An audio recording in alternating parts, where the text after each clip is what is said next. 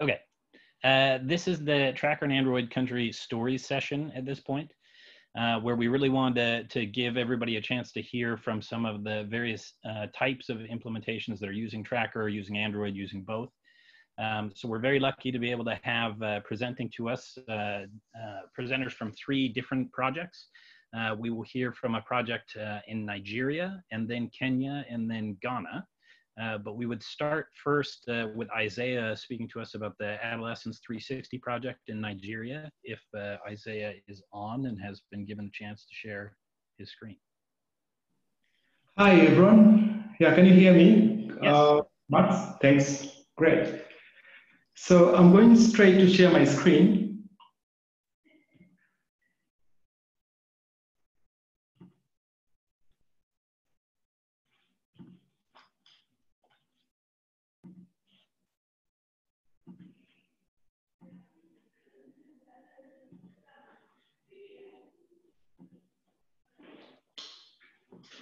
Great.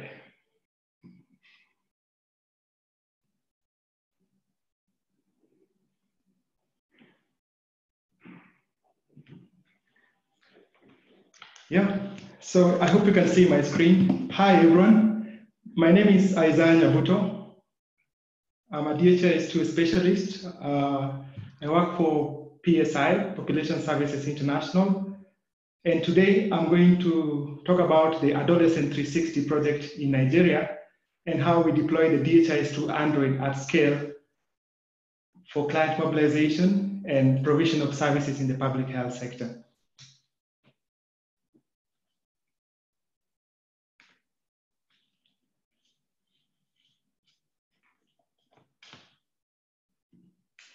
So I'll start by a brief, a very brief introduction to the A360 project, the Adolescent 360.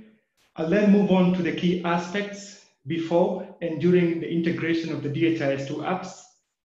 I'll show you our key results. And then lastly, I will close with the lessons learned. So let's get started. Um, the Adolescent 360 project aims to raise the uptake of modern contraceptives among young adolescent girls of age 15 to 19 years. The project implements two main health interventions. One, the 9ja program, which is implemented in the southern parts of Nigeria. So the small circles in orange in the map. And 9ja targets the unmarried girls with some specific forums to gain skills and knowledge about their health. The other key program is Matasa Matan Arewa, which is commonly known as the MMA. The MMA is implemented in the northern parts of Nigeria. So the small uh, circles in the map in the northern part. So the small circles in green on the map. And MMA targets the married girls and husbands through the maternal and child health program. A360 is active in 206 public facilities across eight states. And the project is co-funded by Bill and Melinda Gates Foundation and the Children Investment Fund Foundation, CIFF. So to my next point, uh, the key aspects. So before DHIS2 and capture apps, the client mobilization, uh, the client and service the client mobilization reports are being recorded on paper-based forms.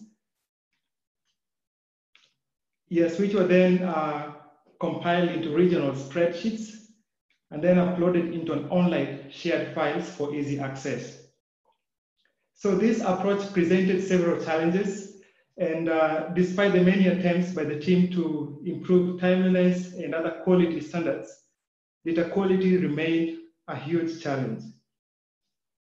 The A360 core team wanted to streamline their data flows, to improve the timeliness of reporting, and also benefit from more advanced analytics and data visualization functionalities in DHIS2. So during our integration, we first did an initial assessment of the project setting. This happened in February and March 2019.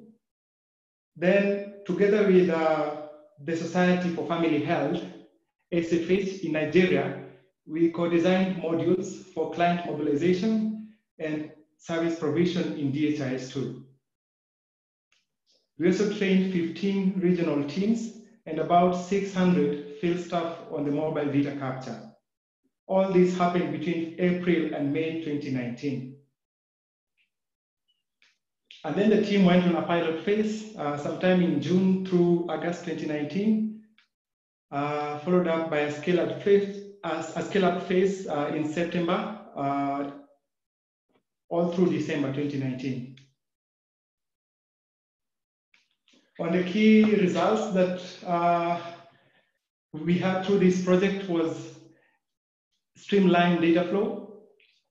So the field staff, uh, so the 9ja girls and the MMA mobilizers could then record the uh, client mobilization and submit live reports using the DHIS2 apps.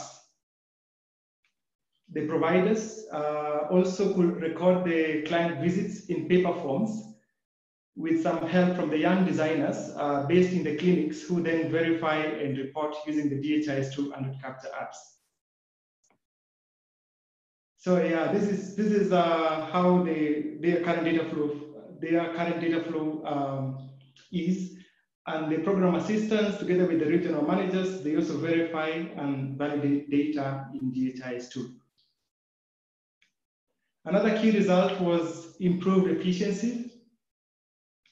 Sometime in, in 2019, an average of 661 client mobilization and uh, 8,526 service reports were completed monthly. What this means, 33 mobilization and 426 service reports were being completed on daily basis, all through the DHIS 200 capture apps.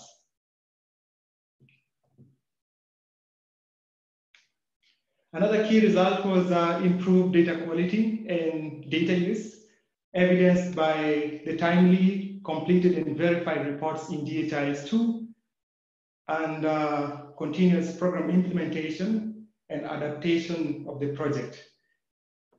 So here we thanks to the DHIS2 analytics and dashboards. And uh, this is one of the outputs the program team sees on a day-to-day -day basis it shows the total adopters conversion rate by state and number of clinic. In green are the conversion rates, while the small circles in pink indicate the adopters, the number of adopters reported from the clinics. So green indicates a good sign, which is uh, a good performance, while in pink, the volume uh, so the bigger the size uh, of the circle is also the bigger the, the volume of the adopters coming from the clinics. So, and also notice um, the high number of adopters coming from the south uh, west part of Nigeria, where the 9ja Girls program is mainly implemented. So the program team sees this and uh, uh, through this and other charts on the dashboards, they can be able to uh, identify the areas with most saturations and also plan for their next uh, move. On the key results, so sorry, on the lessons learned, we encountered some specific challenges. Number one is uh, issue to do with data synchronization, seen in DHIS2 2.3. And uh, with this, uh, we were able to fix uh, by an upgrade to the next release of the DHIS2 apps. Another key challenge is connectivity issues in some states, which we also managed to fix uh, by limiting access, the internet access on the mobile devices. Among the, sorry, just a minute. Among the enabling devices, uh, the enabling factors were the initial assessment of the project setting. Uh, yes, the one that we did in February. This helped us to appropriately design the tools in DHIS2. Another key enabling factors is the active involvement of the program uh, staff from the design phase to the development and testing phases. Last but not least is the introduction of a mobile device management solution, MDM, which helped us to take control over the devices, including managing of uh, internet access and software updates. For more information about uh, this project, uh, please join our discussions uh, in the DHIS2 community of practice. You can also download a full report, uh, also available in the community of practice and in the link in this presentation. And you can also contact me uh, on the email address right there. So at this point, uh, I would like to welcome any questions um, from the team and also check through uh, our page on the community of practice if there are any. Thanks. Great. And so we, we made sure to save a couple of minutes of questions uh, live for these country sessions. So we'll, we'll try to get to a couple of them at least that have been coming through online. Uh, one of the questions was about the transmission link mapping, uh, supporting links between TEIs, enrollments, and events in the different programs. This was coming from uh, Kala Hedberg. Is there anything, Isaiah, that you could say about the links between the TEIs, enrollments, and events? Yeah, so I'll uh, talk briefly about the our current setup. So our current setup follows a series of single events. Uh, so we are using the single events, um, which uh, they don't have any like registrations. So we we are not following any uh, or we are not implementing any tracked entity instance uh, that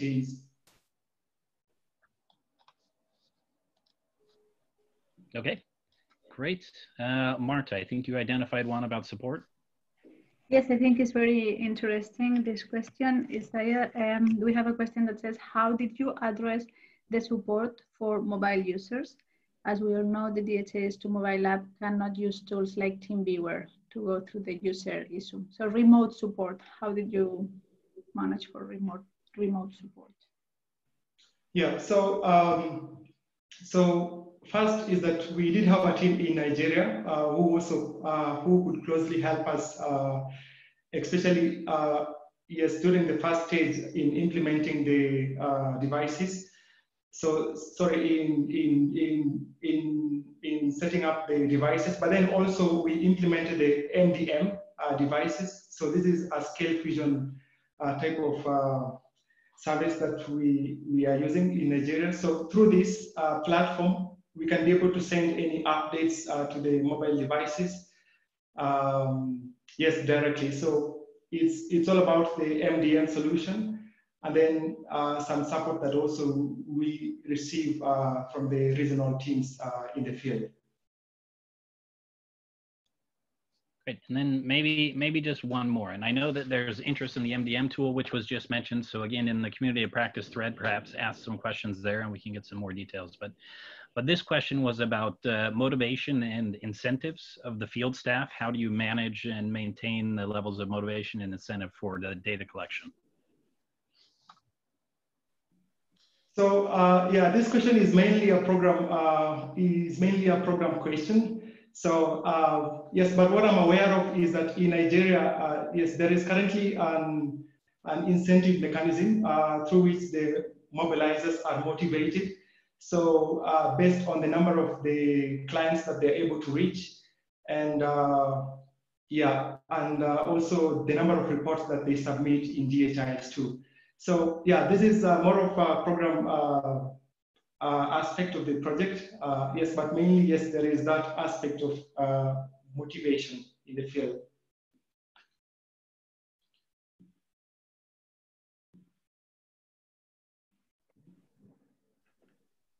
Okay, thank you, Isaiah. I think we can leave it there unless, is there any other question you wanna bring up now, Mike? That you found no, interesting? No, I think just uh, please bring things over to the community of practice. We'll have a lot more time there to answer questions, but then otherwise I think we're ready for the next. Okay, I, I wanna address one because it's a very simple one and it's not related to the project. So thank you, Isaiah. Thank you again and congratulations on the great work. Uh, this question says, any update on DHIS2 Android data entry, offline mode, and data synchronization. So that, that's what the data, that's what the Android app does.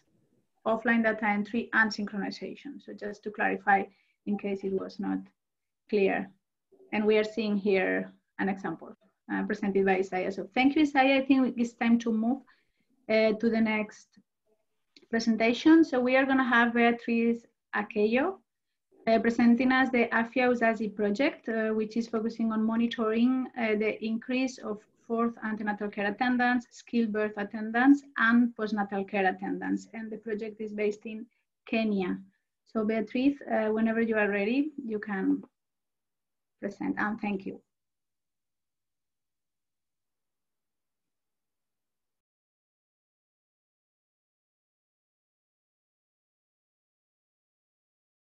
Beatriz, just so that you are muted. I don't know if you're if you already started. We can see your screen, but we cannot hear you.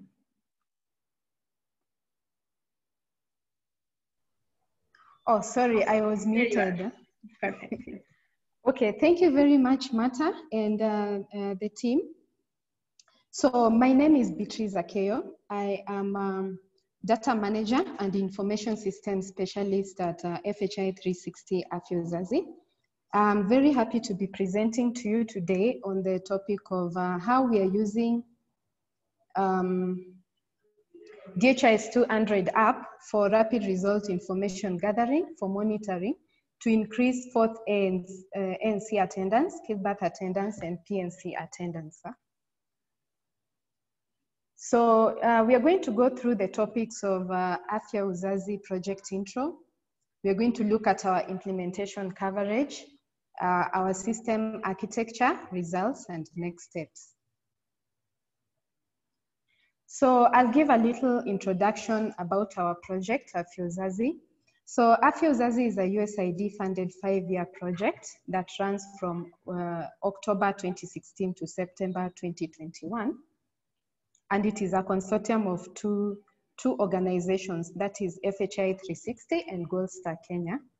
And it aims to increase family planning, reproductive, maternal, newborn, child and adolescent health impact, increasing access to and uh, demand for these healthcare services in the project coverage areas. So the project coverage areas consist of two counties in Kenya, that is Nakuru County and Baringo County. And in Nakuru County, we operate in two sub-counties, that is Kuresoi North and Kuresoi South sub-counties. And that is where we started to implement the uh, DHIS2 Android data capture. In Baringo County, we operate in four sub-counties. That is Baringo Central, Baringo North, Marigat, and Mogotio. So uh, within the implementation coverage, I'll start by giving a little background on uh, uh, the reasons why we, we implemented the Android uh, data capture app to collect data.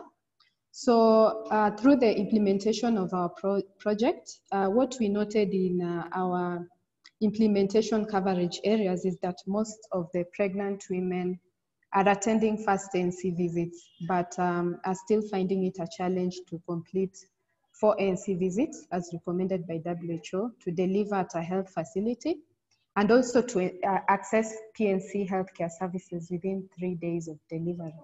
So we can see there that in 2018, only 49% of the pregnant women completed four ANC visits, 65% uh, delivered at a hospital, and only 21% accessed PNC services within three days after delivery. So in Kuresoi South, um, we had only 22% of the pregnant women completing 4 ANC, only 41% delivered at a health facility, and only 43 accessed PNC services within three days after delivery. So uh, that prompted us to, to partner up with uh, the Department of Health for Nakuru County to implement uh, a rapid result initiative. We called this uh, rapid result initiative SURGE. And we started by implementing in 29 health facilities in Kuresoi North and Kuresoi South sub-counties. So uh, in this implementation, we, are, we adopted the use of DHIS2 data capture app so that you can be provided with timely data to generate reports that would then be used for collaborative implementation, progress reviews, and uh, decision making. So this is uh, how uh, the system architecture looks like. So we provided healthcare workers with mobile phones. Uh, these are Android-based uh, mobile phones, and uh, we installed DHIS2 data capture app. within um, the, the mobile uh, phones so that the healthcare workers can use it to, uh, to submit data to us. So the kind of data that um, we were collecting, let me just go back to the first screen.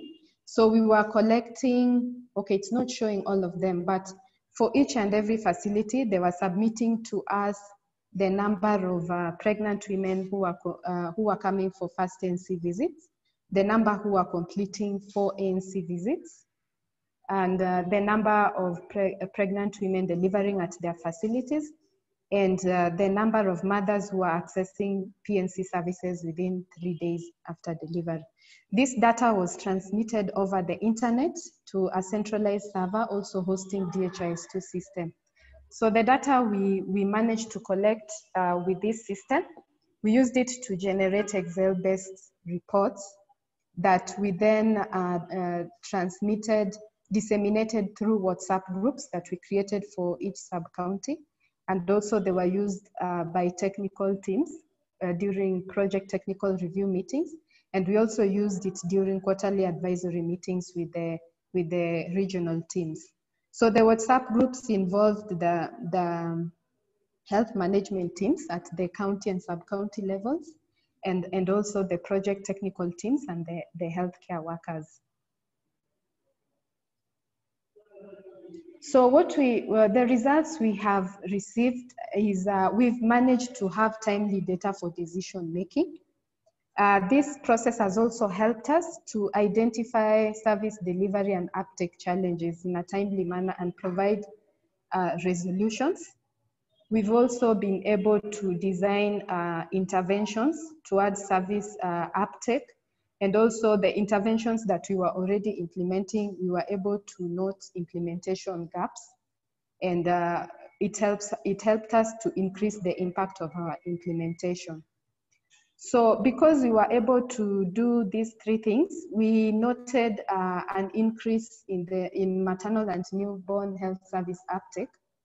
Um, uh, if we compare the period when we didn't implement this system and the period when we implemented this system, we noted a significant increase in the number of maternal and newborn health services uptake. So we are comparing the period October 2018, January 2019, and October 2019, January 2020. So between that period, uh, the number of pregnant women completing four ANC visits increased from 1,440 to 1,998. The numbers delivering at a health facility increased from 2,399 to 2,815. And the number of infants receiving postpartum care within three days after delivery increased from 2,314 to 2,817. So because of the results, uh, the successful results we, we achieved, we scaled up the system to an additional 45 uh, Surge Health facilities across uh, Baringo County in the sub-counties where we are implementing. So these are the lessons um, that we were able to, that we noted. These are, these are the lessons. So we were able to shorten data submission period because, uh, because of the direct submission by healthcare workers. So there was no third party involved. We were receiving data directly from the healthcare workers. And then uh, we were able to eliminate uh, printing of paper-based forms. We initially started by using paper-based forms, and then we moved to the system. So through this process, we were able to eliminate that. And then we also realized efficient report generation through centralized data repository. That made it easy for us to automate uh, some reports. So we also experienced some challenges during the, the process of implementation. So one of the biggest challenges was staff turnover. This led, led to frequent trainings and mentorships because uh, what we realized was that staff whom we had trained on the system were transferred to other health facilities that didn't have the system and uh, other staff were brought into our health facilities where we were supporting this system. So we had to train them so that they can uh, continue with the submission. We also noted poor network coverage in some of our implementation areas. So that uh, made it, uh, some healthcare workers had to move around the facility to find areas where there was net, stronger network or even move to other locations so that they could be able to submit uh, data. So we also had cases of phone loss and malfunctioning and uh, where we were not able to replace um, the phones or repair the phones, then we had disruption of data submission and for some facilities that meant reverting back to the paper-based system. So thank you very much. I'll leave it there and see if there are any questions. Thank you very much. Back to you, Marta. Thank you, Beatrice. That was a great presentation and very interesting project. We do have one, uh, one question. I'm gonna read it for you. It says, what do the healthcare workers think of the system? and if they can use it for other things apart from capturing data. I guess they mean maybe the device. That's what okay. the question. Okay, thank you very much. So yeah, the healthcare workers really uh, were really receptive to the system. And because uh, it, it uh, reduced the amount of work, because initially they had to use the paper-based forms, uh, and now when they're using the, the Android phones, they were really happy to, to have reduced kind of uh, effort uh, in data submission. And, and also, yes, uh, they are using the phones for other, other activities like um, for us, uh, we are really trying to increase uh, uptake of maternal and newborn health services. So you find that sometimes they use the phones to also do things like calling um, the, the pregnant mothers who are defaulting for uh, antenatal care services. And also in Kenya, we are running uh, health insurance for the mothers. And they are using the funds to also enroll the mothers into, into the health in insurance schemes that has been rolled out in, in the country. So yes, they are finding more uses for the phone and they are also, and because of that, it's also motivating them to use the phone more. Okay, thank you. We are almost out of time, but there is one last question for Beatrice, um, which is about managing data confidentiality using WhatsApp. So I don't know if you were actually sending uh, patient data over WhatsApp, but the, that's the that's the question, and I think that will be the last one. Okay, so we were not sending patient data over WhatsApp, over WhatsApp, we were just sending aggregated data because the, the data that is submitted to us by the healthcare workers is, uh, is purely aggregate data. So when we send through the WhatsApp, we're just sending simple Excel-based tables that are showing how many, uh, like for example, how many ANC1 clients uh, they have seen at the health facility, their targets, and also the percentage that uh, they, they have achieved, and so that they can be able to see uh, how far they are in terms of uh, achieving their target. So we were not sending any patient level data. Okay, uh, thank you, Beatrice. We don't have more time for questions, so I'm gonna please ask all of you answering, uh, asking questions that we had. Uh, we got some in the uh, now very last minute to please post them in the community. We can answer those generic, and I think Beatrice, you can also go there and answer the ones related to your project. So I'm gonna pass it over to to Mike to introduce us our next presenter. Thank you very much for the presentation and congratulations again on the great project and implementation. Thank you. Thank you very much, Mata and everyone. Great. then our uh, last country story for uh, this session is coming from uh, Ghana, from the Ghana Health Services. Uh, we have uh, a, a, very large tracker implementation running there that Ghana Health Services has been responsible for. Kwame, who works within the PPME unit there, is going to share his screen with us and talk through some of the lessons they've learned over this last year. Uh, Kwame, are you able to share your screen?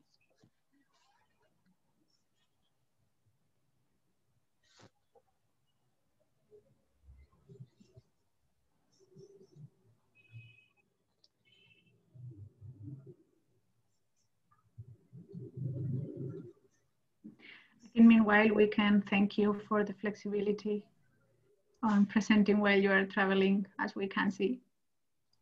Yes, we know it was uh, it was the health services activity this afternoon work to do, but appreciate you sharing your time with us.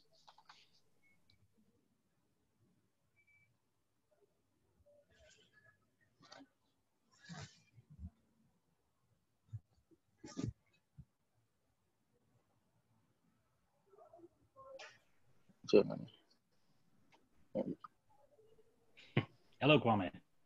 Hello. Yes. Yes. Um, okay. So, okay, great. Hello, good afternoon, everyone. Well, it's afternoon in Ghana. So I will say good afternoon.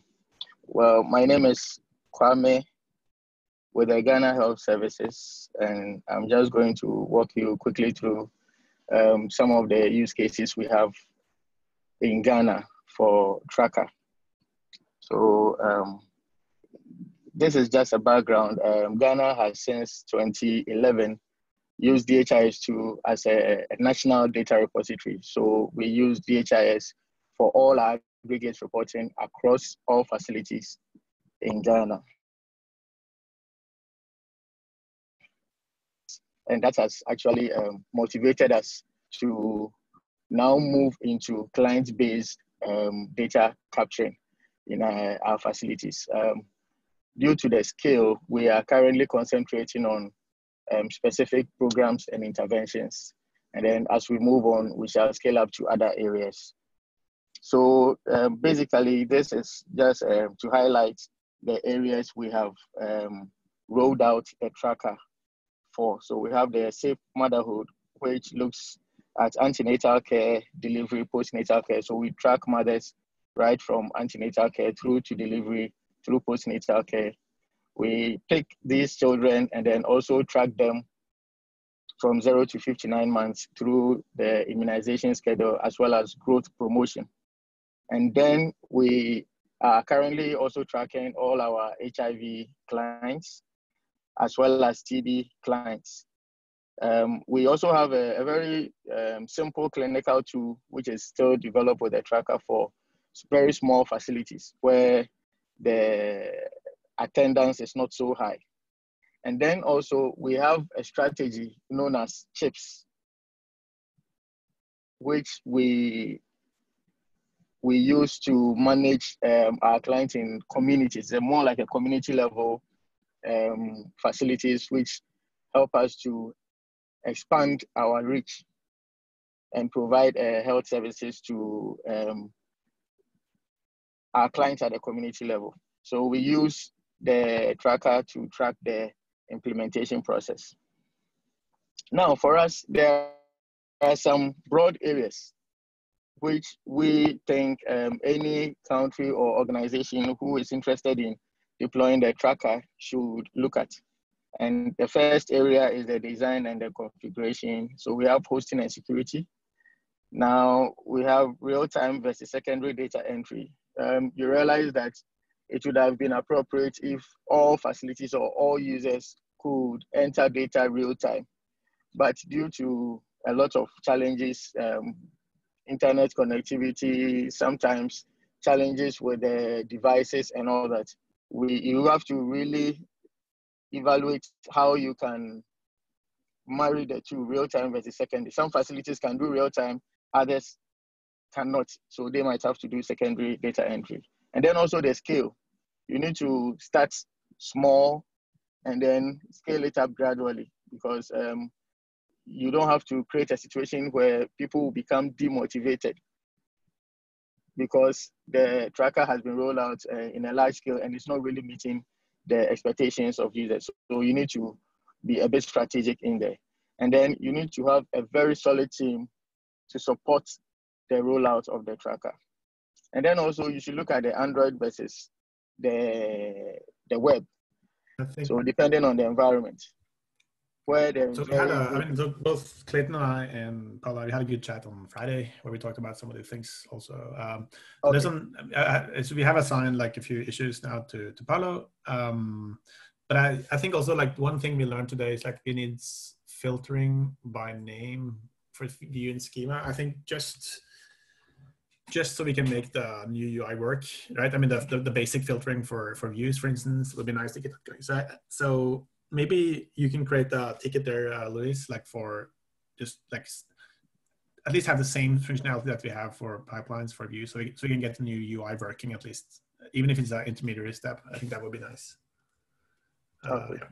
But in addition to that, like, if, and yeah, I have updated um, Jira. So if you look in Jira and just filter by um, assignee, you'll also see that. Well, okay. So let me quickly move to um, some of the challenges we we encountered.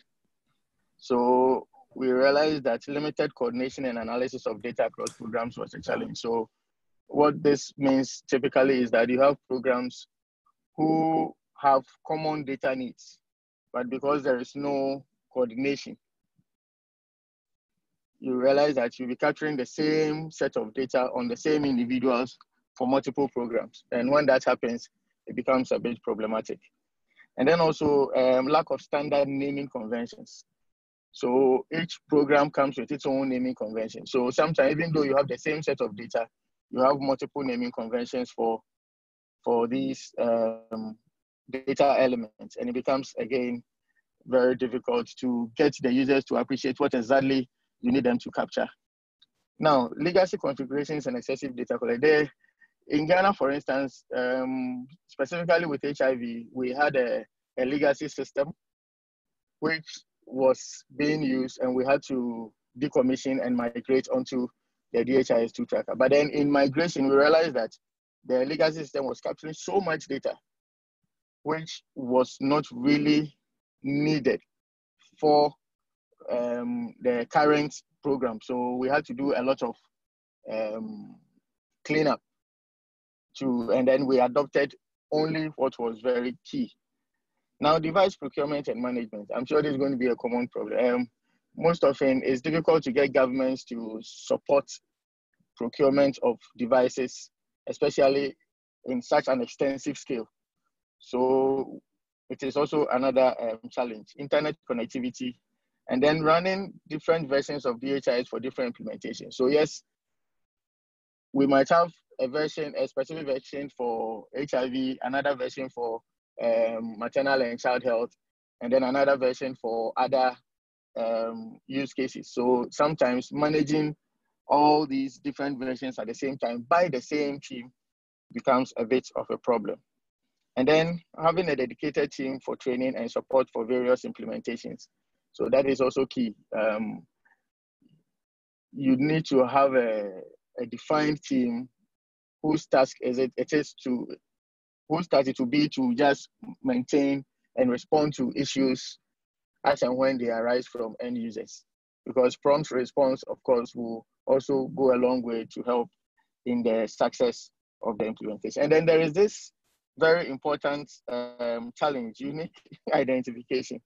Um, Ghana, fortunately for us, the government is currently rolling out an extensive um, national identification program. So um, we are hoping that once that is completed, we can adopt the identification, the, the unique identification for our clients. But currently, we are trying to manage um, the situation. We are using some improvised ways to um, uniquely identify our clients. It comes with its own challenges, though. Now, what are successes? Um, we have successfully been able to roll out the maternal and child health tracker in five out of 16 regions. And we are doing that progressively because we did not have enough um, resources to procure tablets and then do extensive training across the country. So as and when we get um, funding and devices, we target um, regions who are ready and then we deploy. Then we have also successfully um, rolled out the ART tracker in all ART sites across the country. We have done same for the TB tracker for all TB burden districts. And then currently, we have been also able to generate all summary reports and key indicators for all the interventions. And then service providers are able to easily schedule appointments and also track missed appointments using the tracker. Now, um, these are some of the lessons learned.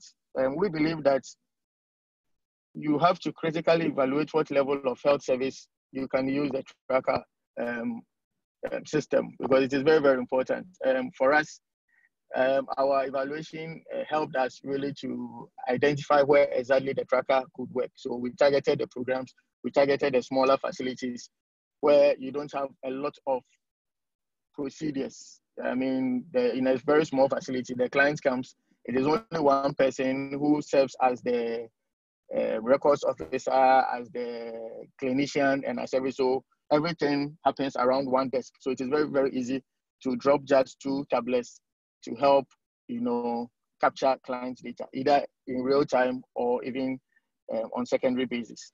And then also you need to build trust in the tracker to avoid nervousness of data ownership and privacy.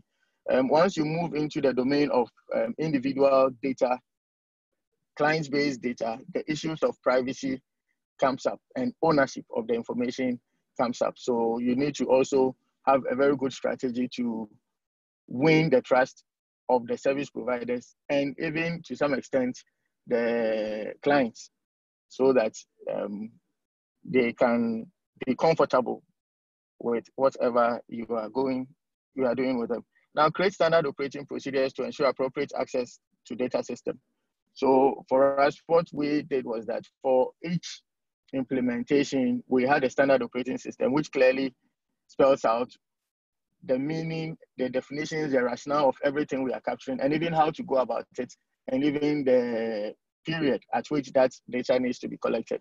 So all those things were spelled out clearly. So it um, gave us the opportunity to have a very common language across all facilities. So they all comply and work with the same set of rules.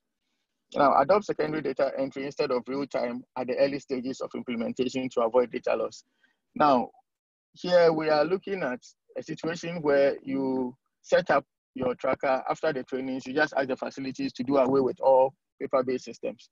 We strongly think that if you pick such an approach, you are likely to have problems because even after training, uh, it takes time for the end users to get their hands wrapped around the system. So it is always good to run the two systems, the paper-based system first as a primary, and then the tracker as a secondary for a while until such a time where the users are very comfortable, then you can take a decision on whether to switch entirely to real time. Now, we also believe that you start small and build capacity over time. You configure all required aggregated reports to prevent manual collation and also to serve as motivation to service providers. Well, um, because you'll be running the paper-based and uh, electronic system concurrently at the initial stages. We strongly advise that as much as possible, you try to generate all their or automate the generation of all the service reports to make it easier for them. Else they will have to collect reports manually whilst they still do the double entries into the manual system and then the electronic system. And we think that is also um, a bit demotivational for the end users. And then finally, you need to understand from the very beginning that it is not cheap to run the tracker, especially if you if you intend to run it on a large scale, just as we are attempting to do in Ghana, because it involves a lot of um, heavy procurement. You need to procure so many gadgets.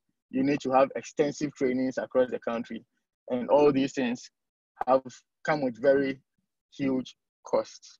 So I'll end here. Thank you very much. Um, if there are any questions, I'll be glad to take them. Thank you.